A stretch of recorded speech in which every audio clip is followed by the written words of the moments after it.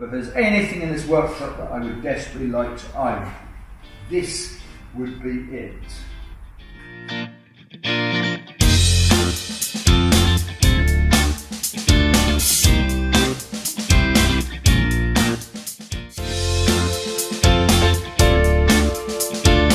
Front wings and front spoiler, and there's a Porsche spoiler if you've noticed behind there.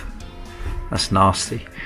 Have you got a scrap bin for bits like that? Suspension, um, heater box, and it stops. Oh, about- what about all this ru- Yeah, rust? the rusty stuff is the pre-war Aston behind. oh, thank God. Yeah.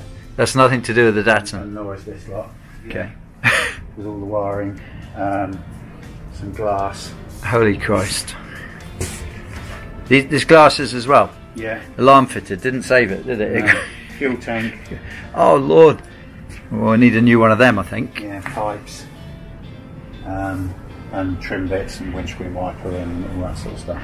So basically, we're going to need a friendly Nissan dealer Yes, there's exactly involved in the need. project, Yeah, actually. yeah. Probably, or, or maybe even, and an importer.